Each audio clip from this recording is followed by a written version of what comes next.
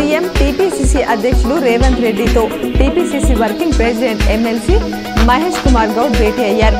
ముఖ్యమంత్రి రేవంత్ రెడ్డి నివాసంలో నాయకులు సమావేశమయ్యారు. పార్లమెంట్ ఎన్నికలు తాజా రాజకీయ అంశాలపై చర్చించారు. కామారెడ్డి జిల్లా బాన్స్వాడ బీఆర్ఎస్ కార్యాలయంలో బీఆర్ఎస్ నాయకులు మీడియా సమావేశం నిర్వహించారు. ఎమ్మెల్యే పోచారం శ్రీనివాస్ రెడ్డి సోషల్ మీడియాలో వచ్చిన ప్రతి చిన్న దానిపై ఆయన స్పందించాలని అడిగే స్థాయి మీకు లేదని అన్నారు. మోటార్ మండల కేంద్రంలో ప్రఖ్యాతిగాంచిన శ్రీ లక్ష్మీ వెంకటేశ్వర స్వామి వారి జాతర రథోత్సవం అంగరంగ వైభవంగా జరిగింది. ఈ నెల ఇరవై తేదీ నుండి శ్రీ లక్ష్మీ వెంకటేశ్వర స్వామి వారి జాతర ఉత్సవాలు ప్రారంభమయ్యాయి.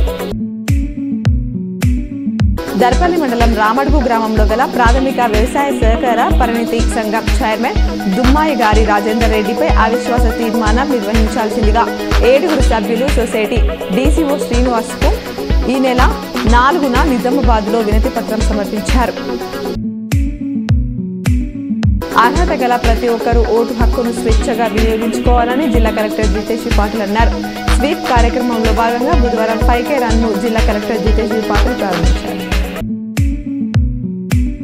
రాష్ట్ర ముఖ్యమంత్రి రేవంత్ రెడ్డిపై నిరాధారమైన తప్పుడు ఆరోపణలు చేసిన బీఆర్ఎస్ వర్కింగ్ ప్రెసిడెంట్ కేటీ రామారావుపై చట్టపరంగా చర్యలు తీసుకోవాల్సిందిగా విజ్ఞప్తి చేస్తూ నిజామాబాద్ వన్ టౌన్లో ఉపాధ్యక్షులు రాష్ట్ర ఉర్దూ అకాడమీ చైర్మన్ తాహర్ బిన్ హందన్ కలిసి మామరణం అందజేశారు.